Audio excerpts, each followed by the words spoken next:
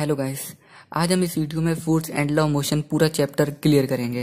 हमने जो कुछ भी पिछली वीडियोस में क्लियर किया है, उसको हम क्विक रिवीजन करेंगे। तो स्टार्ट करते हैं अपना topic force and law of motion तो इसमें पहला टॉपिक हमारा था व्हाट इज़ फोर्स फोर्स क्या होता है? पढ़ा था कि पुश और पुल हमारा फोर्स होता है। यानी कि अगर हम किसी ऑब्जेक्ट पर पुश या पुल करते हैं तो वो हमारा फोर्स कहलाता है। कैसे? मान लीजिए हमने किसी दरवाजे को पुश किया और वो दरवाज़ा खुल गया। तो यानी कि हमने उस दरवाजे पर फोर्स लगाया था। और वहीं अगर हमने किसी ऑब्जेक्ट को पुल किया और वो ऑब्जेक्ट मूव हो गया तो यानी कि हम कहेंगे कि इस ऑब्जेक्ट पर हमने फोर्स लगाया। तो यानी पुश और पुल जो ये होते हैं, हमारे फोर्स के इफ़ेक्ट हैं। जैसे कि फोर्स हमने लगाया पुश के ज़रिए तो यानी पुश हमारा एक इफ़ेक्ट हुआ पुल हमारा एक इफ़ेक्ट हुआ।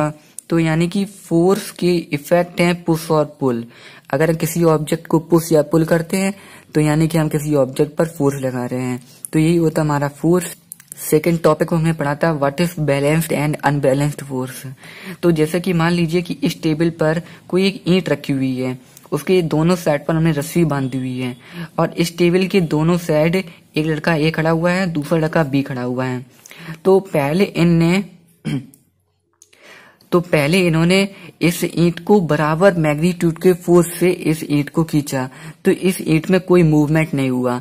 यानी कि अब इस प्रकार के फोर्स को हम कहते हैं बैलेंस्ड फोर्स जब किसी ऑब्जेक्ट पर दोनों तरफ़ से इक्वल अमाउंट का फोर्स लगता है और ऑब्जेक्ट में मूवमेंट नहीं होती है तो वो हमारा होता है बैलेंस्ड फोर्स जैसा कि इस ईट पर हम इस डायरेक्ट इस तरफ़ से भी इक्वल अमाउंट का फोर्स लगा रहे थे और इस तरफ़ से भी हम इक्वल अमाउंट में अपोजिट डायरेक्शन में फोर्स लगा रहे थे तो यानी कि ये हुआ हमारा तो यानी कि ये हमारा हुआ बैलेंस्ड फोर्स तो वहीं आप बात करें अनबैलेंस्ड फोर्स की, मान लीजिए ए और बी अब फोर्स लगा रहे थे तो ए ने कुछ ज़्यादा अमाउंट में फोर्स लगा दिया बी के अकॉर्डिंग तो फिर ये ईंट जो है हमारी ए वाली की तरफ़ मूव हो गई, जिस तरफ़ ज़्यादा फोर्स लगा।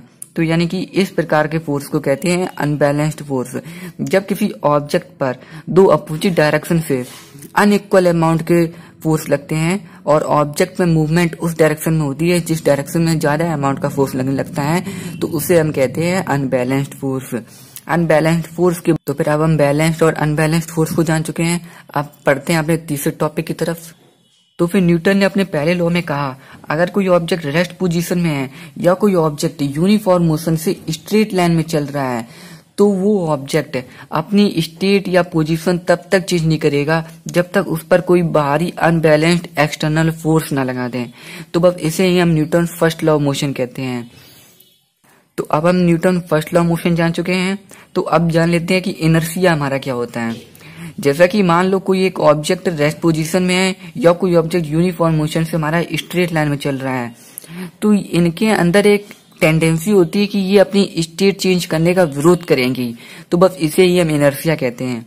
मान लीजिए कोई एक बस है, वो खड़ी हुई है, और उस पर कोई बैठा हुआ है, कोई पैसेंजर और बस अचानक से चल देती है।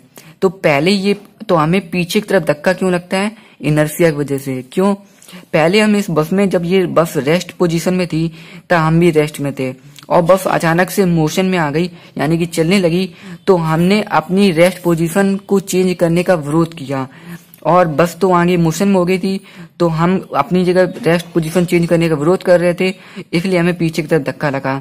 बट जैसे ही हमें पता चला कि अगर हम थोड़ी देर और रेस्ट पोजीशन में रहे तो हम गिर जाएँगे। इसलिए हमने अपनी पोजीशन चेंज कर ली। यानी कि अगर कोई ऑब्जेक्ट अपनी पोजीशन चेंज करने का विरोध करे स्टेट चेंज करने का विरोध करे तो उसे ही हम कहते हैं इनर्सिया तो फिर आप जानते हैं न्यूटन सेकेंड लॉ मोशन को। मोमेंटम क्या होता है? पहले ये जान लेते हैं। किसी ऑब्जेक्ट का मोमेंटम होता है, उस ऑब्जेक्ट का मास और वो किस वेलोसिटी से चल रहा है, उसका मल्टीप्लाई होता है हमारा मोमेंटम तो मान लीजिए कोई एक ऑब्जेक्ट है, वो उसका मास एम है और यू वेलोसिटी से चल रहा था। उस पर हमने कुछ फोर्स अप्लाई किया टी टाइम तक और उसका वेलोसिटी हमने यू से बढ़ाकर वी कर दी। मास तो हमारा एम ही रहेगा क्योंकि ऑब्जेक्ट सेम है तो हमने वेलोसिटी चेंज कर दी। तो इस पर हमने कितना फोर्स लगाया, इसी के मेजर करने के लिए न्यूटन ने हमें सेकेंड लॉ मोशन समझाया।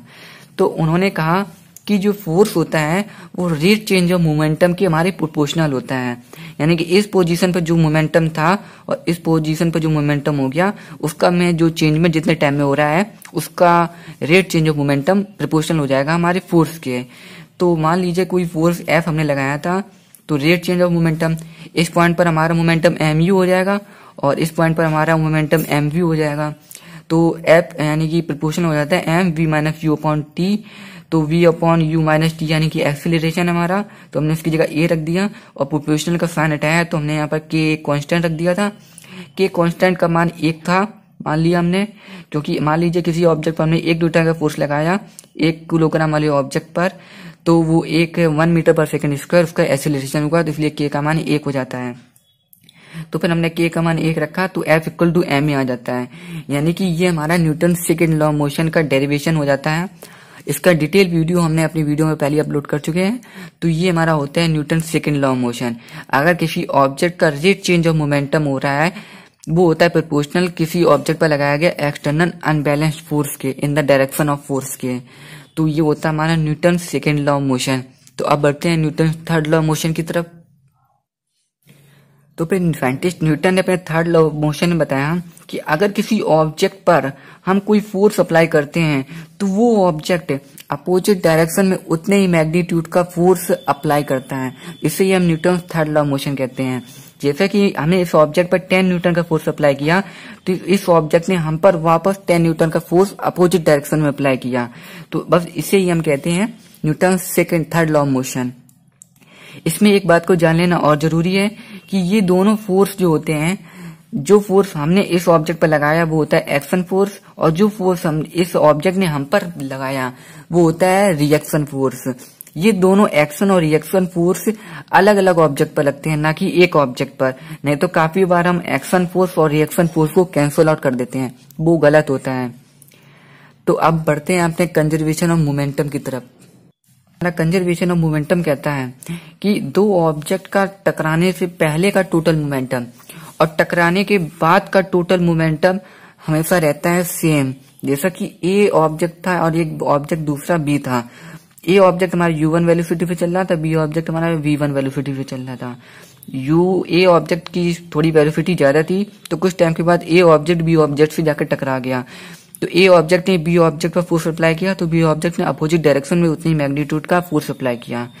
तो फिर कुछ टाइम और उसकी ए ऑब्जेक्ट की वेलोसिटी हो गई यू टी और बी ऑब्जेक्ट की वेलोसिटी हो गई वी टू तो फिर इसके बाद स्टार्टिंग में ए की वेलोसिटी और तो फिर स्टार्टिंग में टकराने से पहले ए का टोटल ए का मोमेंटम और बी का मोमेंटम जोड़ दें और टकराने के बाद ए का टोटल मोमेंटम और बी का टोटल मोमेंटम इनका टोटल सम ये टकराने से पहले और टकराने के बाद का रहता है सेम जैसा कि यहाँ पर आपको इस इक्वेशन में दिख रहा है।